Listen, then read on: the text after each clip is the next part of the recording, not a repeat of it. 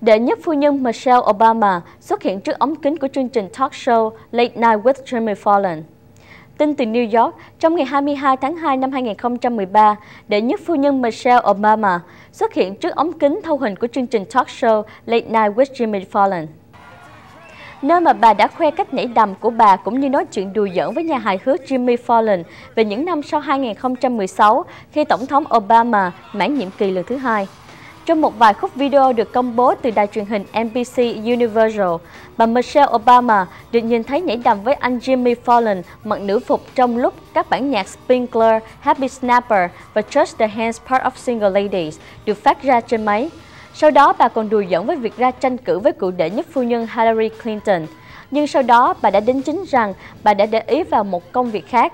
Chương trình này được chiếu vào khuya ngày 22 tháng 2 năm 2013.